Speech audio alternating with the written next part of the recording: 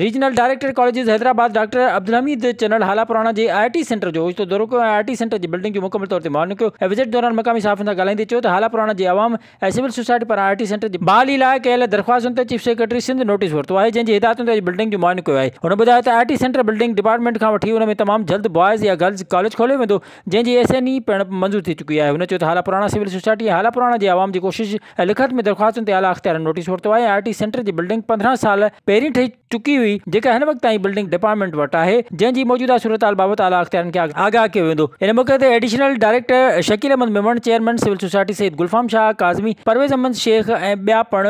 साणसि गॾु हुआ विज़िट कयो अवामी आवाज़ मीडिया ग्रुप जी website Awami Awaz dot P के